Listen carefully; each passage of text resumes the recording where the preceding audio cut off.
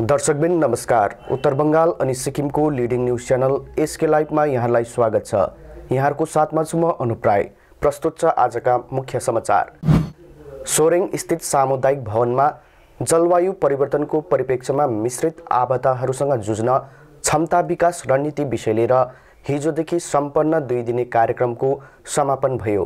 सिक्किम राज्य आपदा प्रबन्धन प्राधिकरण अनि भारतीय सार्वजनिक प्रशासन संस्थाको संयुक्त तत्त्वधानमा आयोजित कार्यक्रममा मानव संसाधन विकास विभागका मन्त्री कुङ्गा निमा लेप्चा प्रमुख अतिथिको रूपमा उपस्थित रहेका थिए।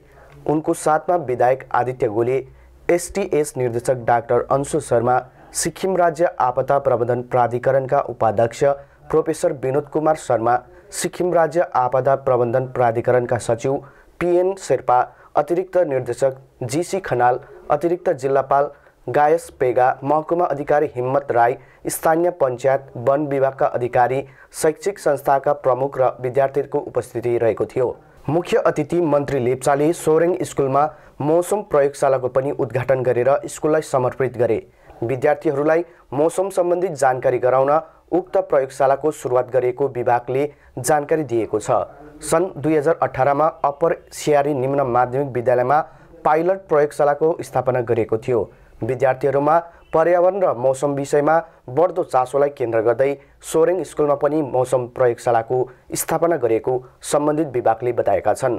कार्यक्रमलाई विधायक गोले प्रोफेसर विनोद कुमार शर्मा सचिव पिएन शेर्पा र एसडिएम हिम्मत राईले पनि सम्बोधन गरेका थिए।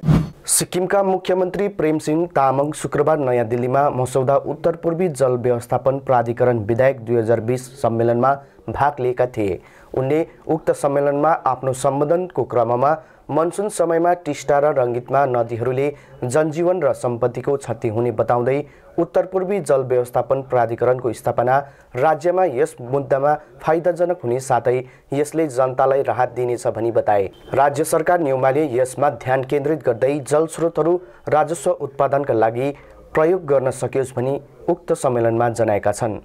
सिन्कुना बगान व्यवस्थापन कार्यालयमा टिएमसी सिन्कुना प्लान्टर्स वर्कर युनियनद्वारा शुक्रबार सिन्कुना अधिकारीसँग भेट गर्दै बगान श्रमिक वर्गको विभिन्न समस्या लिएर डेपुटेसन दिँदै सात सूत्री मागमा एक ज्ञापन पत्र चढाएको छ। सभामा सिन्कुना बगान व्यवस्थापक गोपाल लामछाने सह व्यवस्थापक भर्नाली विश्वास अनि सहव्यवस्थापक उज्जवल पति उपस्थित थिए भने टिएमसी सिन्कुना प्लान्टर्स वर्कर युनियनको पक्षबाट Kiran blown Ratan Lama Regina Gurung BS Rai Sanjay Thapa Pushkar Sanyasi BK Gurung अनि पार्टीका अन्य कार्यकर्ता उपस्थित रहेका थिए। युनियन पक्षबाट विभिन्न कार्यालयमा गोसना केन्द्र नर्सरी अस्पताल कारखाना बडाइखाना आदि स्थानहरूमा सहायक मजदुरहरूको भर्ना झट्ट हुनुपर्ने महिला मजदुरहरूको सुत्केरी विधामा बढोत्तरी गर्नुपर्ने चारैवटा विभागबाट मजदुरको मोडल हाउसको सूची सार्वजनिक गर्नुपर्ने सिन्कुनामा महिला आरक्षण तेत्तिस प्रतिशत गर्नुपर्ने होमस्टे सम्बन्धी अनापत्ति प्रमाणपत्रमाथि पहल गर्नुपर्ने साथै विभिन्न कार्यक्षेत्रमा मजदुरको ज्येष्ठ हेरेर सिन्कुना श्रमिक कर्मचारी पदोन्नतिमा महिला आरक्षण हेरेर साथै दफादार अनि बैदारको नियुक्त झट्ट हुनुपर्ने माग राख्दा बगान अधिकारी वर्गले यस विषयमा सरकारी प्रशासनिक विधि बमोजिम पहल गर्ने वचन दिए। राज्य प्रदूषण नियन्त्रण बोर्डको तत्त्वधानमा एक दिवसीय जागरण कार्यक्रम पश्चिम जिल्लाको रिन्चेपोङ समष्टि अन्तर्गत श्रीबदाम केबी लिम्बू वरिष्ठ माध्यमिक विद्यालयको अडिटोरियम हलमा सम्पन्न भयो। पश्चिम जिल्ला प्रदूषण नियन्त्रण बोर्डको आयोजनामा आयोजित यसै जागरण कार्यक्रममा राज्यका शिक्षा मन्त्री कुङ्गा निमा लेप्चा मुख्य अतिथिको रूपमा उपस्थित रहेका थिए भने सातमा जिल्ला पञ्चायत उपाध्यक्ष पश्चिम जिल्ला अशोक गुरुङ समष्टि प्रभारी फुर्बा छिरिङ भोटिया शिक्षा विभाग संयुक्त निर्देशक केसी ग्याछो भोटिया सिक्किम राज्य प्रदूषण नियन्त्रण बोर्डका कुसुम गुरुङ लगायत विभागका अधिकारी कर्मचारी सहित जिल्ला अनि ग्राम पञ्चायतका सदस्य र अन्यको उपस्थिति रहेको थियो। विशेष गरेर प्रदूषण नियन्त्रणमा विद्यार्थीको जिम्मेवारीमाथि यसै एक दिवसीय जागरण गराएको थियो। कार्यक्रममा विद्यार्थीले प्रदूषण नियन्त्रणमाथि लिखित विभिन्न प्लाम्प्लेट्सहरू लिएर र्याली पनि गरेका थिए। सिक्किम राज्य प्रदूषण नियन्त्रण बोर्ड एवं पश्चिम जिल्ला पञ्चायतको पहलमा आयोजित यसै कार्यक्रमलाई सम्बोधन गर्दै शिक्षा मन्त्री लेप्चाले प्रदूषण न्यूनीकरणको विषयमा प्रकाश पार्दै भावी पुस्तालाई बचाउन अनि पृथ्वीलाई स्वच्छ राख्न प्लास्टिकको उपयोग र सञ्चालनलाई निर्मूल पार्न पर्ने बताएका थिए। सामाजिक न्याय तथा कल्याण विभागका मन्त्री डाक्टर एमके शर्माले शुक्रबार चिन्तन भवनमा अपाङ्गता सम्बन्धी पहिलो सल्लाहकार बोर्डको बैठकको अध्यक्षता गरेका थिए। बैठकमा लाइन विभागका एसडिओहरू चिकित्सा विशेषज्ञ डाक्टरहरू वरिष्ठ अधिकारीहरूले अपाङ्ग क्षेत्रका प्रमुख मुद्दाहरूमा अनौठो अशक्ता आइडी प्रोजेक्ट र सामाजिक सुरक्षा योजनाहरूको ख्याल राख्नका लागि राज्यका कार्यक्रम र योजना सम्बन्धी मुद्दाहरूको बारेमा छलफल गरियो। अशक्त व्यक्तिको लागि कार्यक्रम अपाङ्ग भएका व्यक्तिहरूको अधिकार ऐन अन्तर्गत तोकिएको कार्य सम्पादन गर्न सम्बन्धी राज्य सल्लाहकार बोर्डको गठनमा पनि छलफल गरियो। मन्त्री शर्माले आरपिडब्ल्युडी एन दुई हजार सोह्रको विभिन्न प्रावधान धाराको प्रभावकारी र प्रभावकारी कार्यान्वयनका लागि समाज कल्याण विभागले गरेका निष्पट प्रयासको सराहना गरे भने उनले प्रभावकारी कार्यान्वयन सुनिश्चित गर्न सबै सदस्यहरूलाई मिलेर काम गर्ने निर्देश दिएका छन्। कालचिनी खण्डको भारत भुटान सीमान्त सहर जयगाउँ थाना अन्तर्गत बडा मेचे बस्ती रामगाउँ र खोक्ला बस्तीका तिनजना स्कुल पढ्दै गरेका नाबालक केटाहरू क्रमश रोहित ईश्वरी जोसेफ विश्वकर्मा र पारस उर्फ पेमा लामा गत तिन मार्चको दिनदेखि हठात घरबाट एकसाथ निखोज बनेको सम्बन्धित अभिभावकले जनाएका छन्। जयगाउँ रामगाउँ स्थित एउटा प्राइभेट स्कुलमा यी तिनजना नाबालकहरू कक्षा सातमा भर्खरै मात्र पास गरेका थिए भने घरमा कसैलाई पनि केही नबताई तिनैजना एकसाथ निस्केको अनुमान अभिभावकहरूले गरेका छन्। यता उक्त सम्बन्धमा कृपा एनजिओको सचिव डाक्टर कमल कुर्जुरले जयगाउँ क्षेत्रका तिनजना बच्चाहरू एकसाथ निखोज भएको अभिभावक मार्फत थाहा लागेपछि प्रशासनिक मद्दतमा ती निखोज बच्चाहरूको खोजी कार्यको प्रक्रिया अघि बढाएको जनाएका छन्। राति जहिले पनि मर्निङ वाकमा जाने भनेर मर्निङ वाकमा जान्थ्यो। त्यही लागि उनीहरू त्यो दिन हामी सुतिरहेको बेलामा उनीहरू जहिले पनि गेट खोलेर हिँडिहाल्ने नानीहरू एकजना नानी मेरो नानी। अन्त त्यो निक्लेर गएछ। जाँदाखेरि चाहिँ अब हामीले मर्निङ वाकमा गएको छ फर्केर आउँछ आउँछ भनेर सोचेर बसिराख्यौँ। भरे आठ बजीदेखि चाहिँ आठ बजीदेखि नआउँदा चाहिँ हामी खोज्यौँ। खोजेर खोज्दाखेरि चाहिँ नानी चाहिँ छैन। नानी चाहिँ अहिले अब त्यस्तै मौसम त्यस्तै तिन तारिक हराएको नानी तिन तारिक हराएको। अब त्यस्तै अहिले अफवाहहरू फ फैलिरहेको छ कोरोना भाइरसको। नानी अब यहाँदेखि यहाँदेखि कहाँ टाढो कहाँ पुगेको छ। अब त्यस्तै सिस्टमहरू त्यो नानीहरू उयो चोर्ने मान्छेहरू छ। त्यो त्यसले लग्यो कि भन्ने टेन्सन भएर चाहिँ हाम्रो यहाँ चाइल्ड को हाम्रो यहाँ दाजु गुजुरलाई हामीले रिक्वेस्ट गरेर उनीहरूले आएर हामीलाई सहायता मद्दत गर्नुहुँदैछ। थानामा पनि हामीले एफआइआर गऱ्यौँ। यो जुन चाहिँ घटना छ यो तिनवटा नानी एकसँगै हराएको नेमली हो नानीहरूको नाम हो जोसेफ विश्व उम्र पन्ध्र वर्ष रोहित ईश्वरी उम्र पन्ध्र वर्ष अनि पेमा लामा उल्फ पारस लामा पन्ध्र वर्ष। यो तिनटै नानी एउटा भिक्ट्री इङ्ग्लिस मिडियम स्कुलको स्टुडेन्ट हो चेगाउँ र यो तिनजना नै तिन तारिकदेखि बिहान आठ बजीदेखि लापत्ता अनि यो फ्यामिलीले अब यताउता खोज्दा नभेट्दाखेरि फेरि कसैले उनीहरूलाई इन्फर्मेसन गर्यो कि कृपा एनजिओ छ कालचिनीमा। अनि उनीहरू हाम्रोसँग सम्पर्क गर्यो।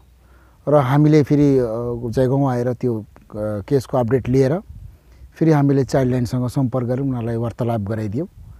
र थानामा पनि हामीले त्यो एफआइआरहरू मिसिङ डायरीहरू लज गराइ र हाम्रो जुन चाहिँ टिम छ अहिले, हाम्रो नेटवर्कको जो टिम छ प्रशासनलाई साथमा लिएर हामी यो नानीलाई छिट्टो उद्धार हामीले एउटा स्टेप सुरु गऱ्यौँ। कुछ भी नहीं बोला बेटा, बात नहीं हुआ, हम तो सुबह काम में गया था।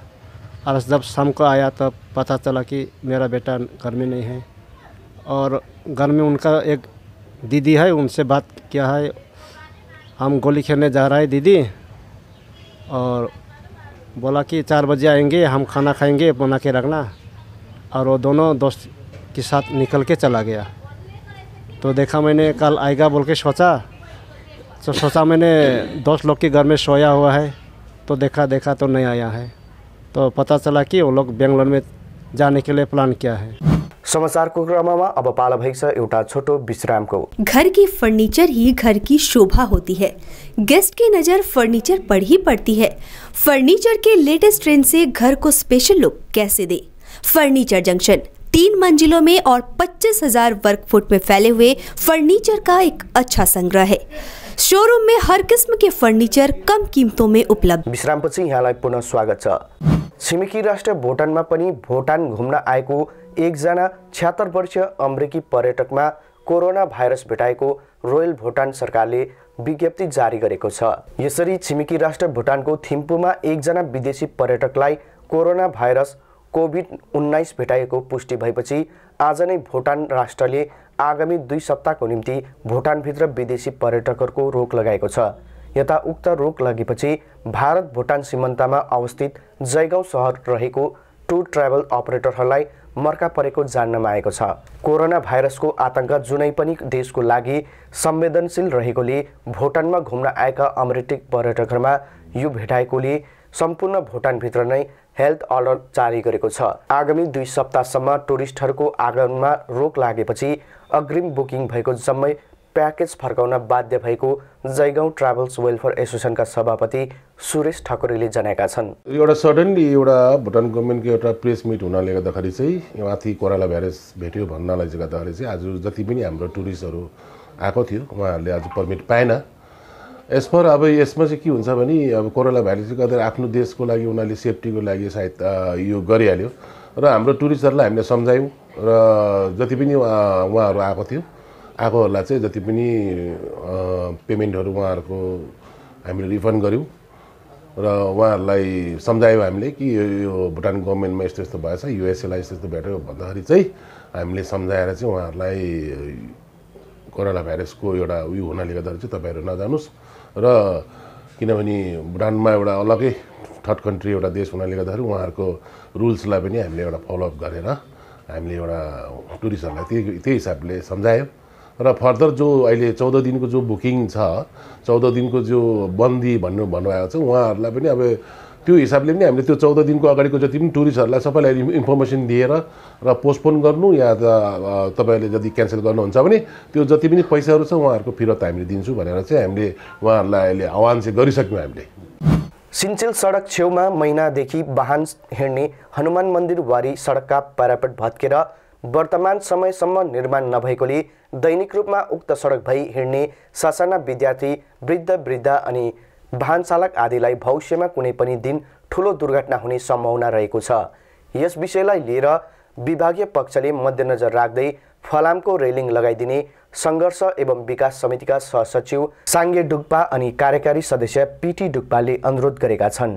पहाडवासी आम दर्शकहरूलाई म आज के जनाइरहेको भने हामी सङ्घर्ष अनि विकास समितिको विशेष अब आज हामीले एउटा हाम्रो घुम जगाउनमा एउटा समस्या लिएर म आइरहेको छु त्यो के रहेछ भने र यसको आज तपाईँले यसको रिपोर्ट सुन्नुहुँदैछ।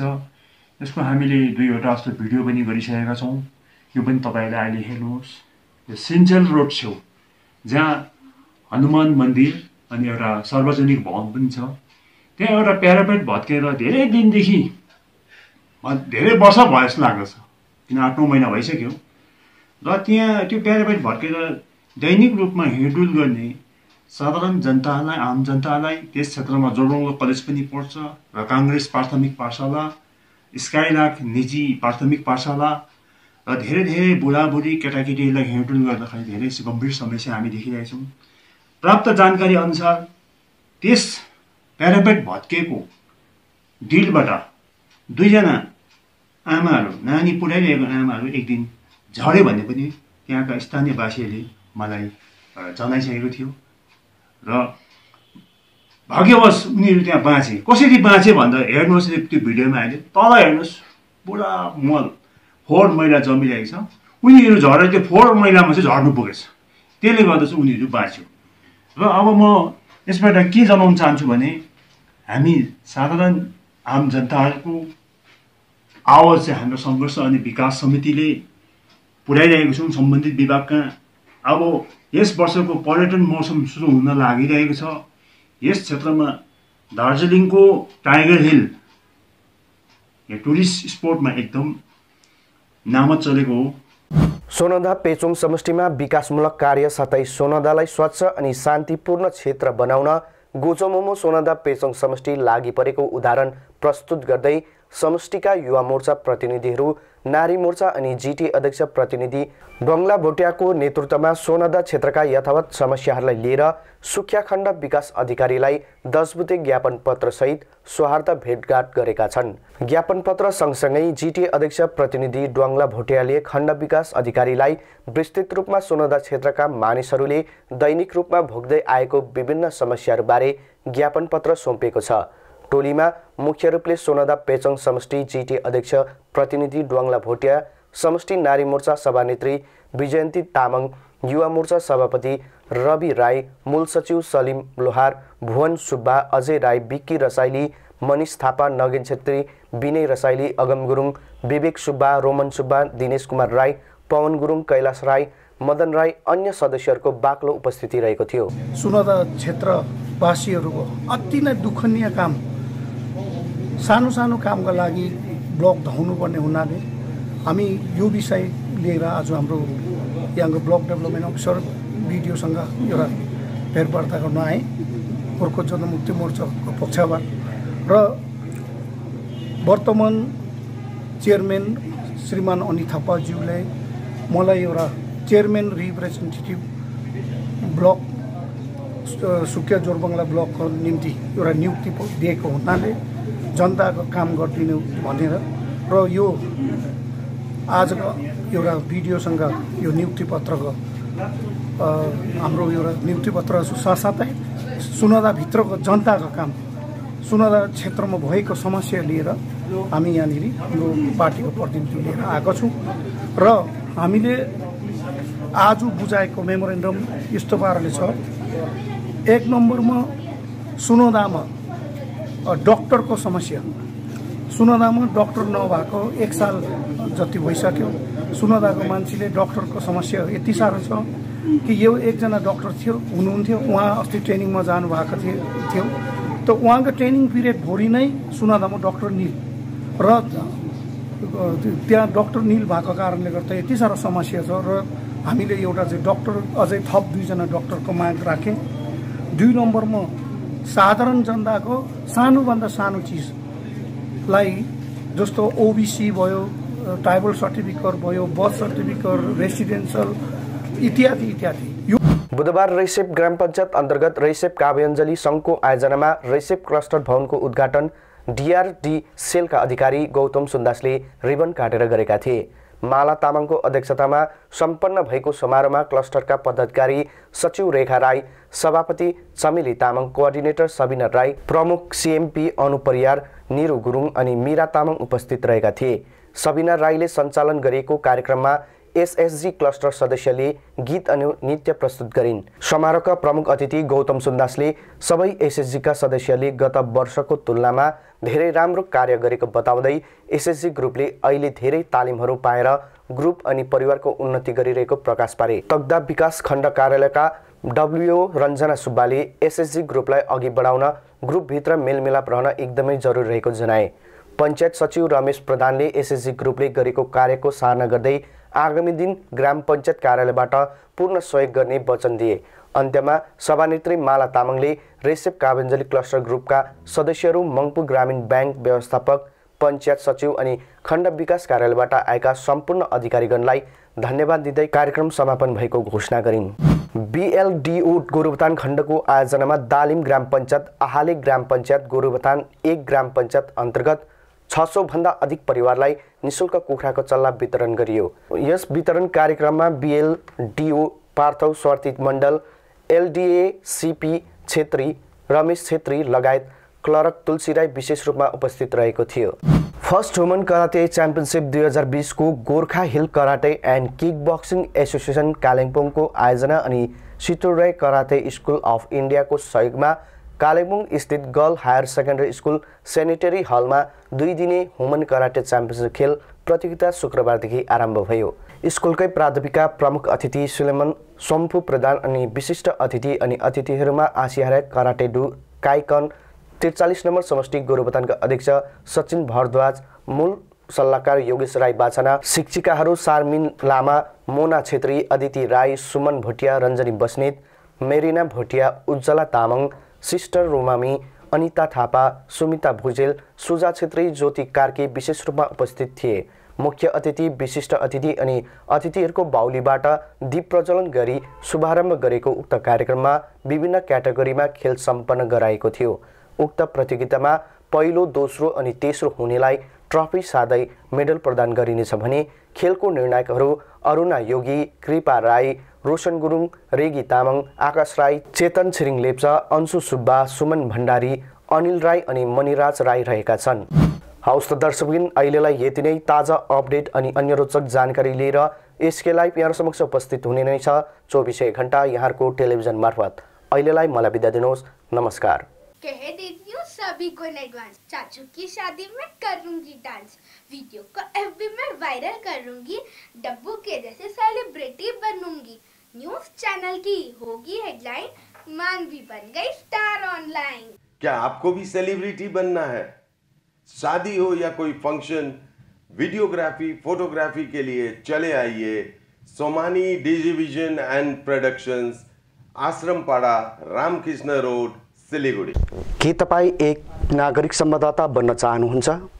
हजुर एसके लाइभ चौबिसै घन्टा न्युज च्यानलद्वारा यहाँहरू समक्ष एउटा सुनौलो मौका प्रदान गरिरहेका छौँ। यहाँहरूले आफ्नो क्षेत्रमा घटेका घटनाहरूको भिडियो आफ्नो मोबाइलद्वारा कैद गरी घटनाको पुख्त विवरणको साथमा हामीलाई पठाउन सक्नुहुनेछ।